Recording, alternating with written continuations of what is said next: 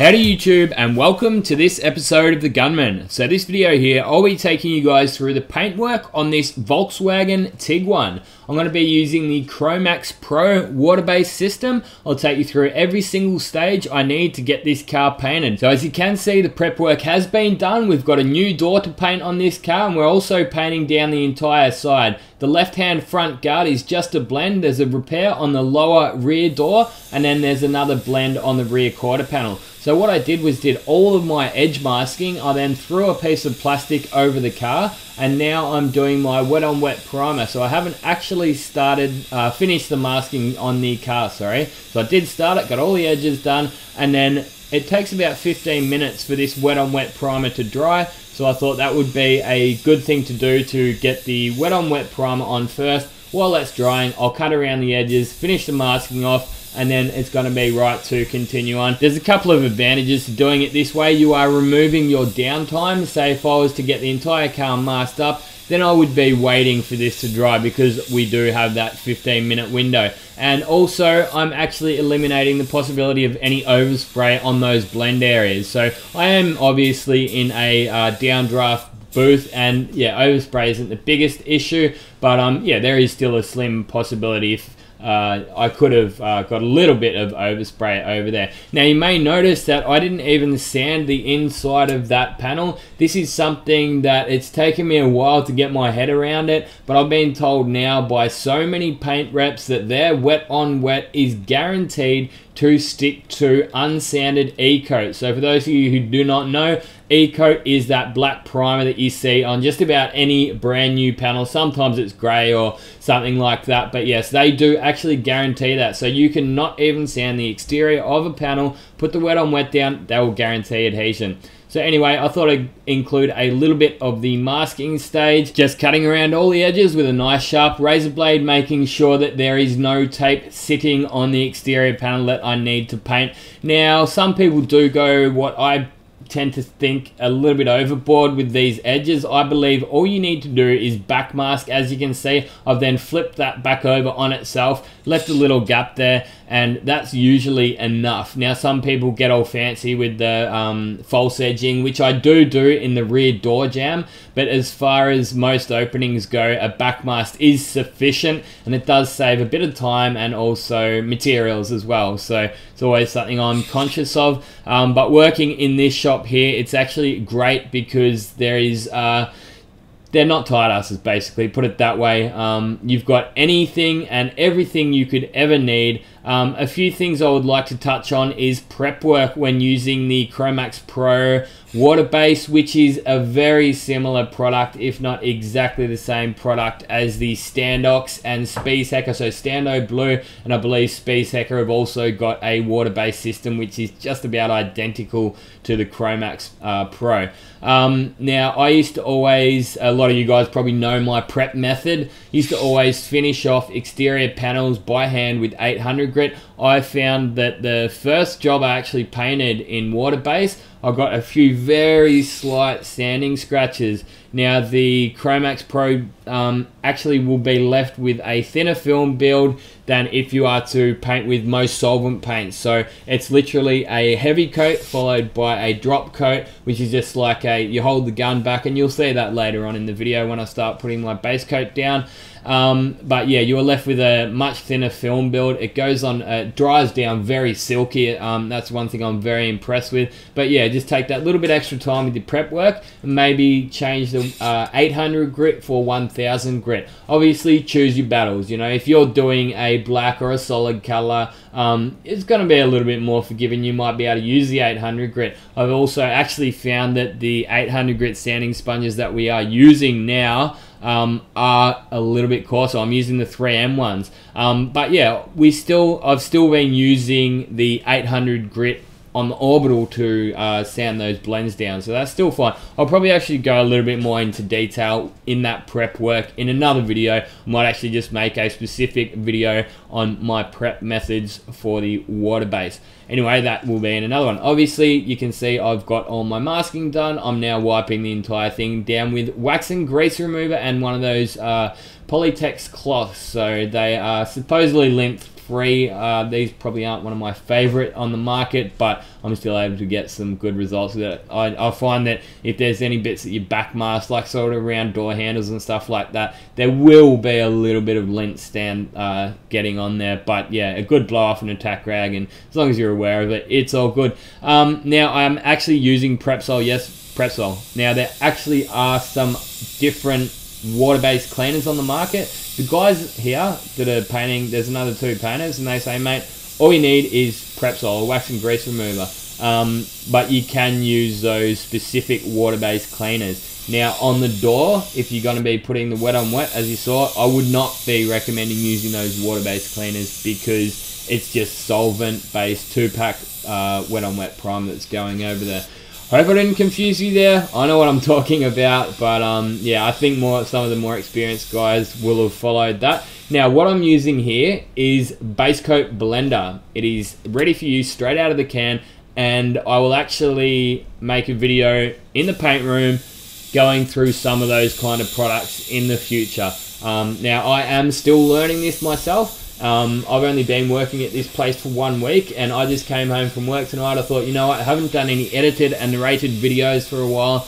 I may as well just smash one out. I know you guys have been waiting for quite some time. So after that base coat blender's down, we're right to start putting our colour on. And I've done the blend first, which is what I was told when the guys came out and did some training with me. It was the best part of three and a half or four days. I was actually uh, working one-on-one -on -one with two separate reps on two separate occasions it was. So one from the distributor of Cromax or and then one from the just uh, the actual uh, themselves who um, yeah they provide some good training.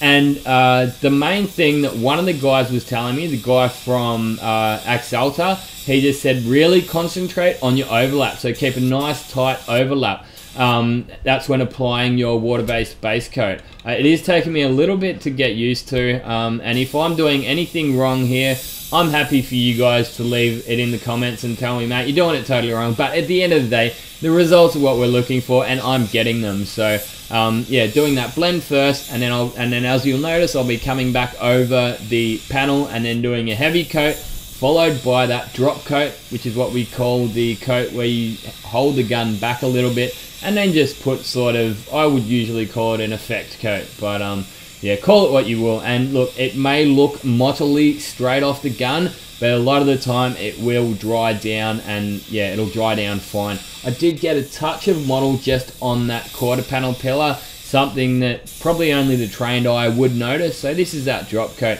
And they do say that all you really need is one coat on all your edges um, because you do get coverage over your edges. And this second coat here really is just, uh, yeah, to get that metallic standing up nicely and to help control that mottle or, yeah, stop the mottle, I guess. Um, now, looking at what I'm doing here, I think I'm, I actually had that blend right now.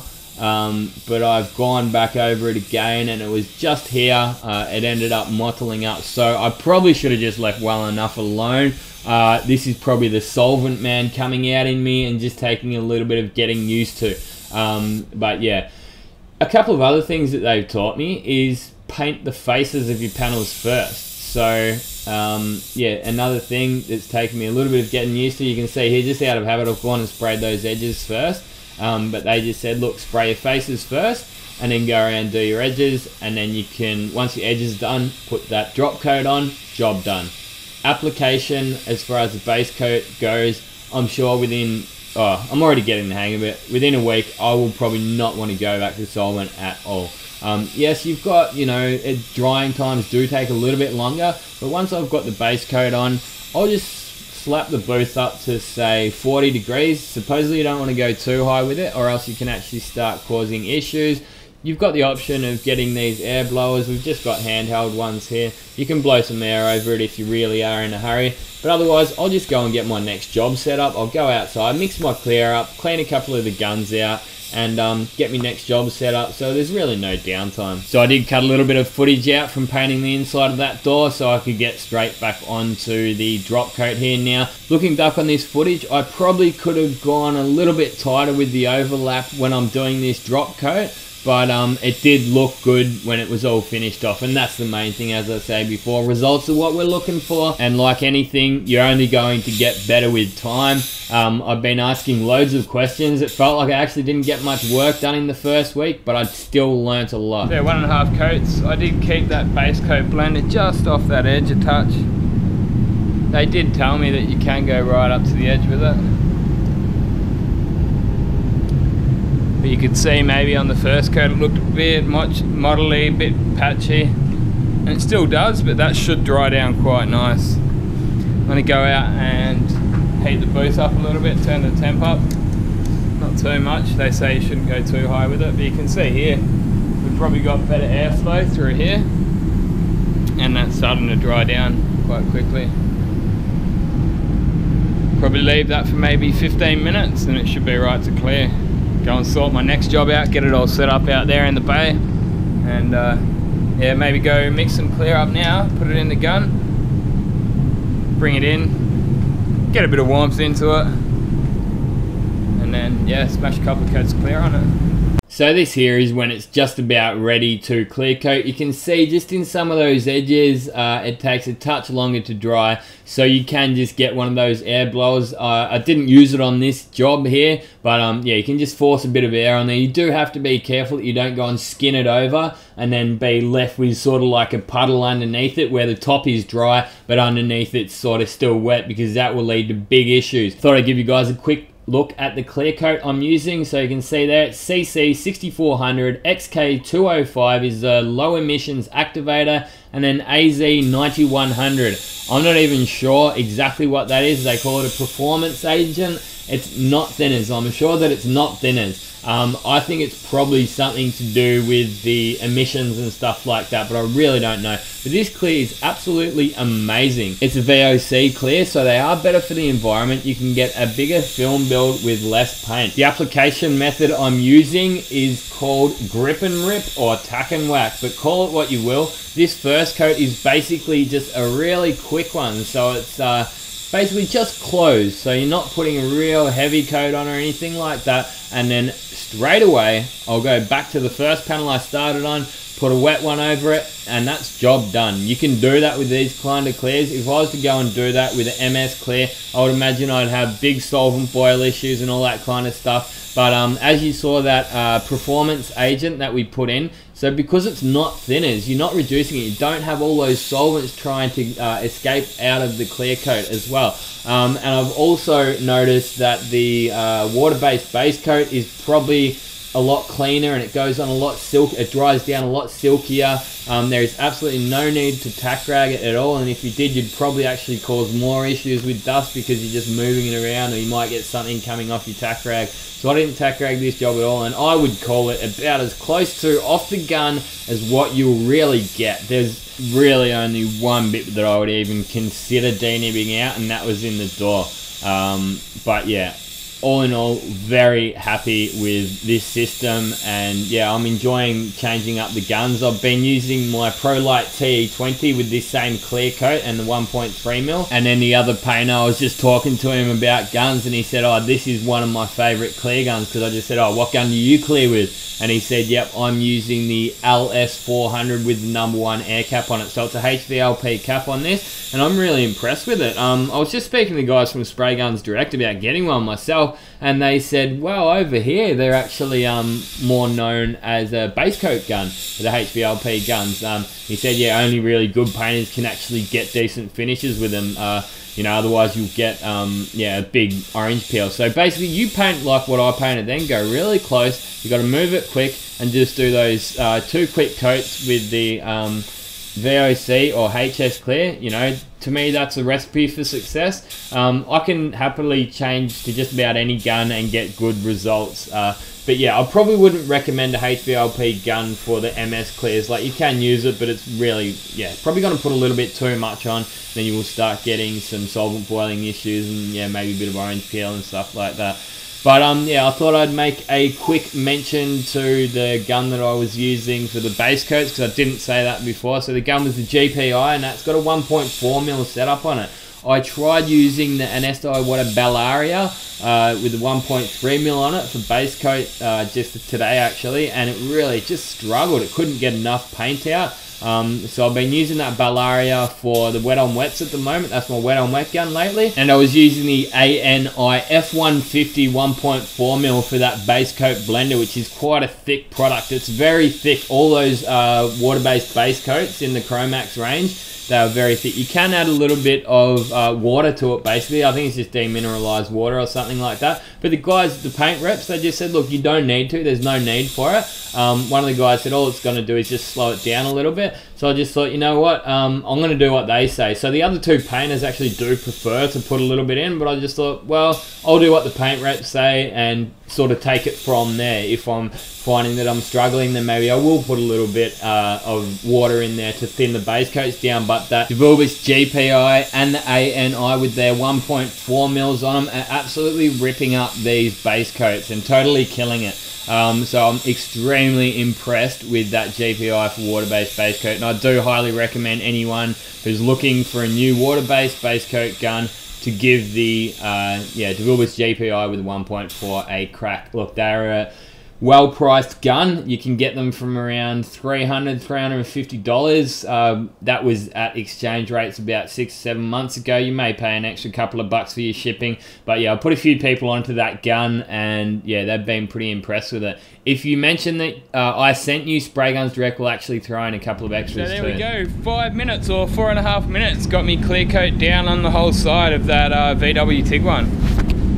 The LS400 Pininfarina Supernova. It's got the LS400 01 uh, air cap on it, so that's the HVLP. Gun settings I used there was I wound the fan right open and then come in one and three quarter full turns. So one and three quarter turns in, four turns out with the fluid, or actually, sorry, it was four and a half turns out it came. I found four was just not quite enough, flow was just a touch too much. I found the sweet spot and I did the old tack and whack, grip and rip, as you want to call it, call it what you will.